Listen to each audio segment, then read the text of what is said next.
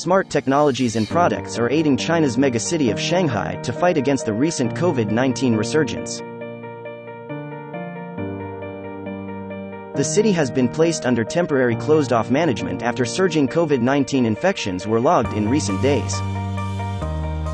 The first batch of 28 intelligent robots are busy disinfecting the environment inside the Shanghai New International Expo Center in the Pudong New area, the city's largest temporary quarantine site.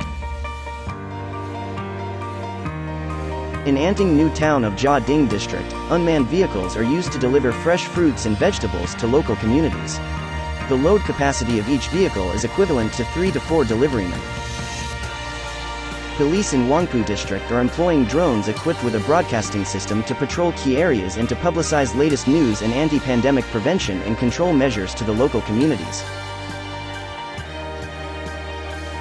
Firefighters in Xuhui district have also launched drones to deliver medicine to nearby residents.